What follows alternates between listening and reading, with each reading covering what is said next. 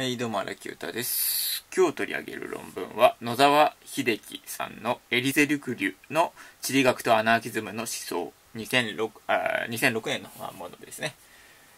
えーまあ、エリゼ・ルクリュっていうフランスの偉大なあ地理学者がいたんですけども、彼は同時に、まあ、アナーキストとしてもまあ有名であったというわけですね。で、えーどうやらルクリュの考え方の中で、このアナーキズムと地理学、この2つはセットに、えー分割できないものとして、まあ、捉えられていたようだ。まあ、その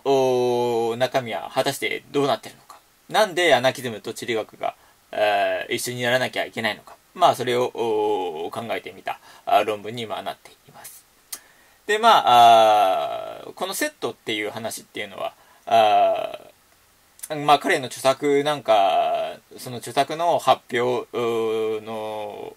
順番なんか見てみても、まあ、よくわかると。つまり、え時期的に、えーえアナーキズムと地理学が、あまあ、並行している。その著作が並行しているっていうことが、まあ、重要であるというわけですね。で、えエリゼ・ルクリューのアナーキズム関係の、まあ、あの、論っていうのは、あ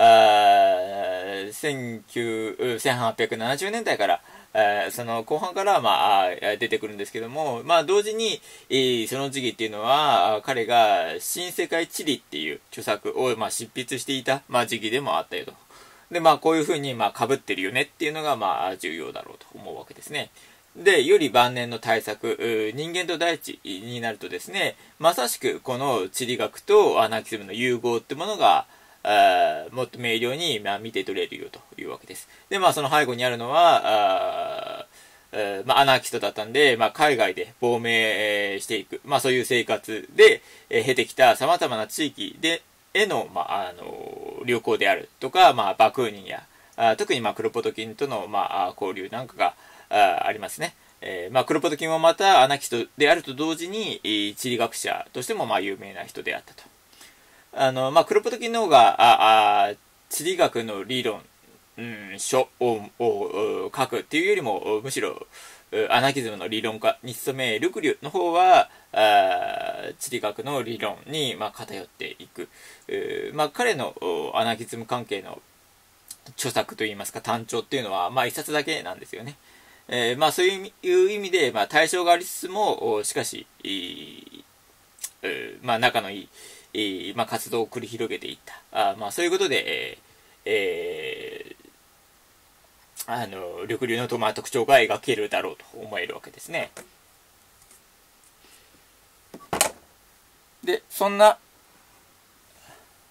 ルグリュが抱いていたアナーキズムっていうのは、まあ、極めてラディカルなあものであったわけです。えー、ぬるいことをゆ許さないようなね、えーものだったわけですね。で、まあ、ルグリはパリコミューンに参加するんですけども、まあ、かかなり早い時期に、まあ、辞めていると。で、それはどうして、えーで、まあ、あの、彼はそれを、その、その、パリコミューンに失敗を読むわけですけども、まあ、どうして失敗したのかっていうと、まあ、既存権力、えーっていうものを、まあ、温存しちゃったからだよね、という、うまあ、批判を、まあ、向けていると。まあ、ここで現れている通り、えールグリュのアナーキズムの、うーっていうのは、まあ、かなり、いい尖った、あ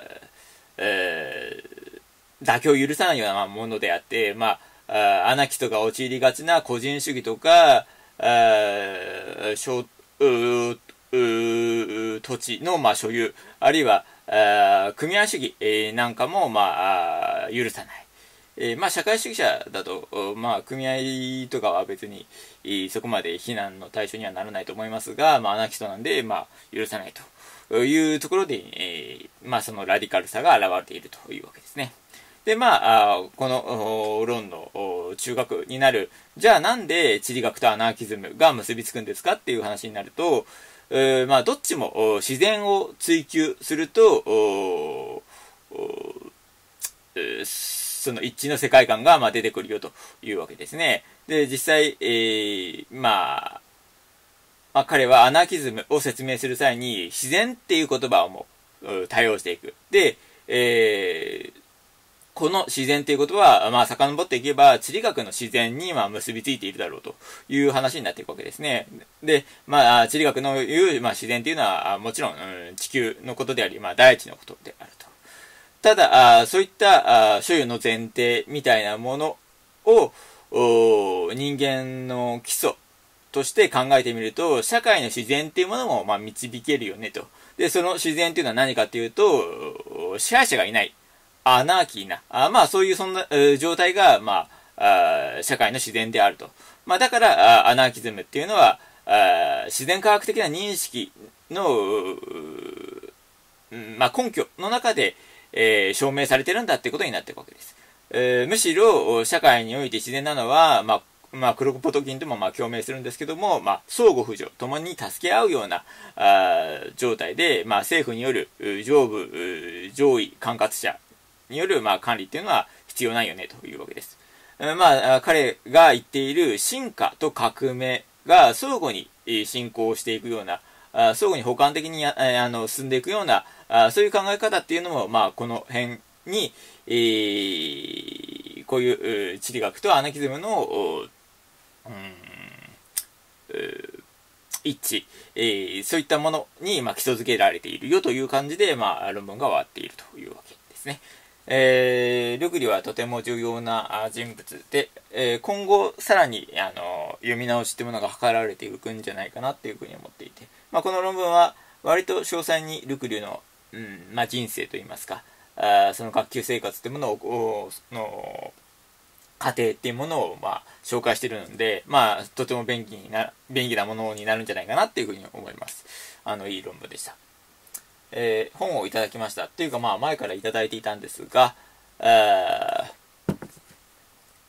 ー、いただきました。と言いますか、まあ、もう読んでるんですけどね、あ読み終わりました。いただいて読み終わりました。えー、滝沢博和さんの、えー、現代経済学です。えー、読み終わったわけですが、あの、とても面白かったですね。あの、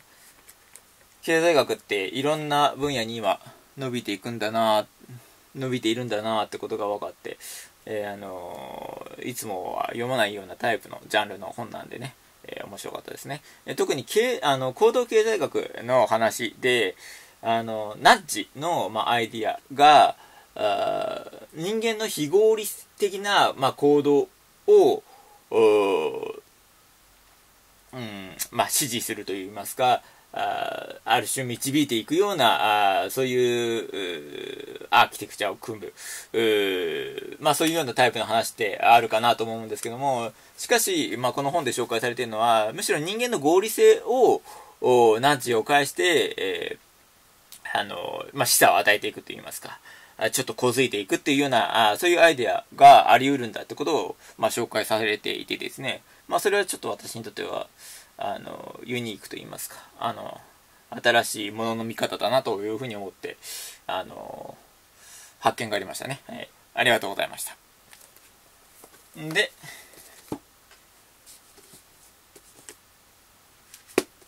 新しい本が出ます。えー無責任の身体系、君はウーティスと言わねばならない。小文社さんからですね。多分、再来週かな？まあ、その辺の書店では、うん、その辺りの書店で、まあ、あの売られるのではないかなっていうふうに思いますね。えー、まあ、あと内容とか紹介していきますかね。うん。まあ、とりあえず、丸山正夫と北田明宏を引用して、うん、責任を取ろうとすると、それがむしろ間違って、間違った仕方で、あのー、暴走しちゃうよみたいな。で、どうやったら暴走しないで責任を取れば、取れるような体制を作ればいいのだろうかみたいな。まあそういうような話をしていますね。はい。うんまあ、全部で8章ありますけども。うん一番、私が書いた本の中で一番もしかしたら短いかもしれませんね。はい。うん。まあ、編集者はなんか私が書いたものの中でこれが一番読みやすいのではないかとか言ってましたが、まあどうなんでしょうね。うん。まあ確かに短いから読みやすいっていう説はあるのかもしれない。うん。まあ表紙がなかなかかっこよくて、しかも情勢なんでね、硬いっていう。硬い。っていう。まあそんな感じなんで、まあぜひ、あの、もうすでに予約も開始してるんで、お願いします。はい。いい本です。えー、というわけで、えー、今日の紹介は以上です。ではまた次回。